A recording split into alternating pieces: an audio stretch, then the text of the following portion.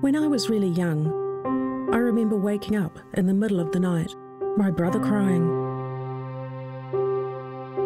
Dad was carrying him out to the car. I can remember being really frightened. I didn't see him for days, but Mum told me not to worry. The nurses were looking after him in hospital, she said.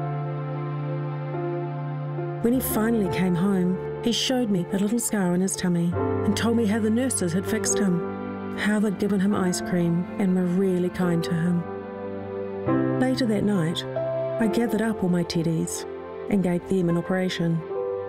Just like my brother, they had their appendix out too. My nana helped with the stitches.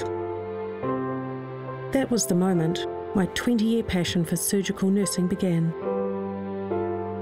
Incredible, eh? For thousands of Kiwis, our people make us their favourite private hospital. We'd like to be yours too.